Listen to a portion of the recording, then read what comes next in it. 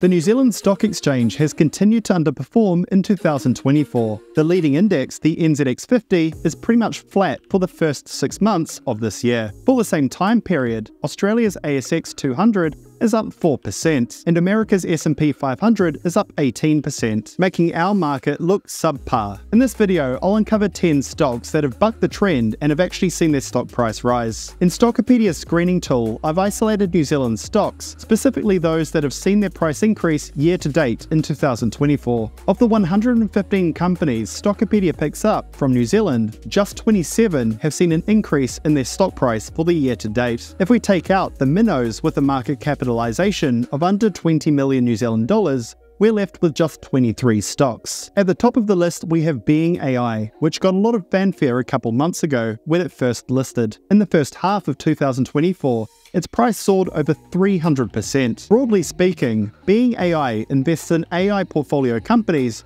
patents AI related software, and consults on others using AI in their businesses. Just having the word AI in their name got many investors excited, with many on Sharesies complaining their orders weren't being processed as the buying pressure was too great. It reminds me a bit of Eric Watson's Long Island Iced Tea Company. They changed their name during the crypto craze to Long Blockchain Corp and saw their stock price rally 200%. AI, like blockchain, is the latest buzzword in technology investing circles. We wait to see what Being AI can do with their $120 million capitalization. In second place is the market's former favorite stock, A2 Milk. Unlike recent years, 2024 has been kind, with their stock price rising over 60%. After a rough couple years and a shake-up of the management team, A2 Milk is coming back strong and has seen its performance start to climb once again. They are a large exporter of milk products, especially infant formulas, into markets like China and the United States. A2 milk is widely reported to be more gentle on stomachs than regular milk, which benefits those with lactose intolerance. East Asia, one of A2 milk's largest markets, has among the highest rates of lactose intolerance anywhere in the world. Alongside increasing revenue and profitability, investors also took solace in regulatory changes in China that benefited A2 milk. This also saw large investors start to buy buy in, including Vanguard and Goldman Sachs. Daigou channels, or grey market imports, are also said to have rebounded strongly since the drastic falls we saw during the pandemic. Third up is Gentrack, which saw their stock price soar around 59% for the year. They specialise in providing clean tech solutions to the utilities sector, such as water and energy. Their software integrates with the likes of Amazon Web Services, Salesforce, Snowflake,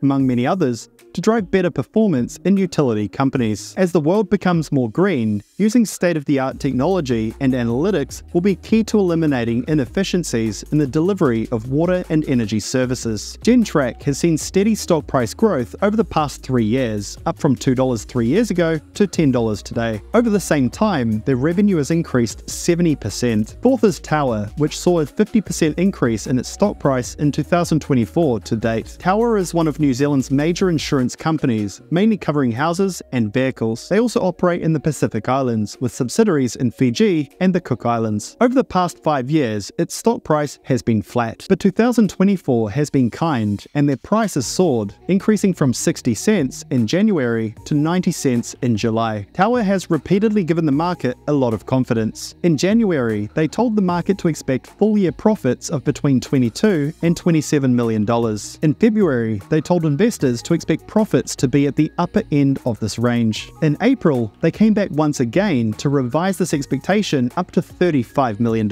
And in June, it was once again increased to $40 million. After a rough 2023, when profits took a dive, 2024 is gearing up to be a great year for Tower, which investors have obviously been excited about. Fifth, we have Black Pearl, which rose 38% in the first half of 2024. They operate in the IT space, specifically on delivering delivering cloud based data solutions to customers around the world. Data is at the core of what they do, with one proprietary software helping identify sales prospects based on their digital footprint. Another one of their softwares transforms a simple email into a retargeting tool, and another that manages company email signatures. So while they manage these softwares, they also look for new ones to acquire particularly where the target sectors have high customer acquisition costs. The company announced in March that they've surpassed $1 million in recurring revenue, a 177% year on year increase. Profitability remains poor, however. Sixth up, we have livestock improvement, up about the same as Black Pearl at 38%. Livestock Improvement is a farmer owned agri tech cooperative that has operated in New Zealand for over 100 years. It is said that 75% of New Zealand's dairy cows were sired by livestock improvement bulls. Alongside their dominant position in herd genetics, they also have a range of agri tech services that work to improve farm performance. A lot of their stock price appreciation came in the first half of the year, oddly, when in February they announced revenue was down 3%, net profit down 13%, and their earnings forecast was unchanged. Against the low milk price environment, investors seem to be happy with their performance relative to the market. In seventh, we have Vista International, up 35%. Vista is a cinema focused company with many services to the industry. Their software helps with cinema management, analytics, marketing, box office reporting, and film distribution. Vista's top line has returned to its pre COVID peaks, however, profitability is taking a little bit longer. In February, we heard that revenue increased increased 6% for the year, and they're on target to be free cash flow positive by the fourth quarter of 2024. In the month trailing that announcement, the stock price popped by 25%. The stock also increased in May when the private equity group Potentia took an 18.5% stake in Vista. With people starting to return to the cinemas, expectations of positive free cash flow by the end of the year, and a major sale to a private equity fund,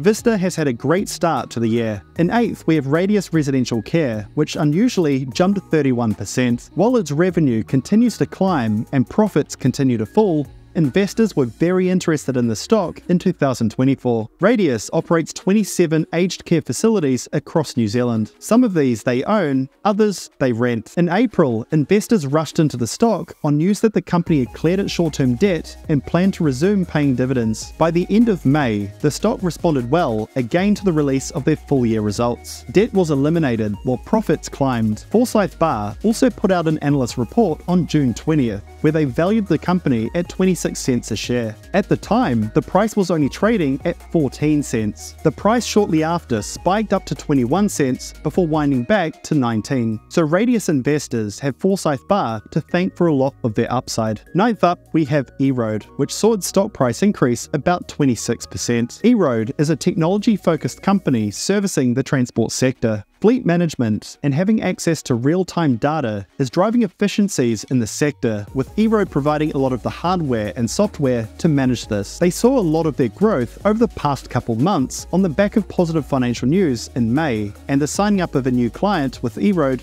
servicing a minimum fleet of 5,000 vehicles. So these two pieces of news gave EROAD investors a great return for the first half of the year. And finally, we have Fisher & Paykel Healthcare in 10th spot, with their stock price rising 25%. This company isn't the same one that manufactures fridges, but it's a spin off that manufactures much more lucrative healthcare equipment. With a market cap of just under $30 billion, it is one of the largest companies on the New Zealand Stock Exchange. This also means that many Kiwis have a little bit of this company in their KiwiSaver funds. Throughout 2024, the company has seen steady growth with no one event causing a major increase in investment activity. In March, they announced an upgrade in their annual earnings, and in May, those earnings were announced and they came in rosy. The company expects 2025 revenue to land at least 9% higher than it was in 2024, and an expansion in their gross margin, which will flow through to their profitability. A couple brokerages also increased their valuations on the back of this news, with Morningstar increasing theirs to $25 a share share,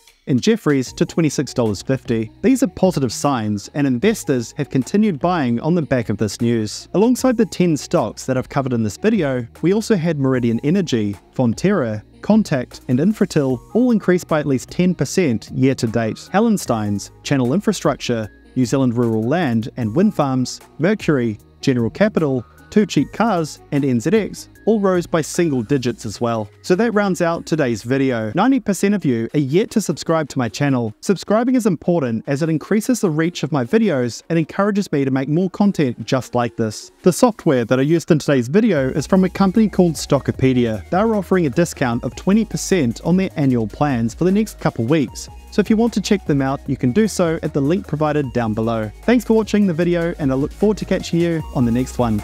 Cheers.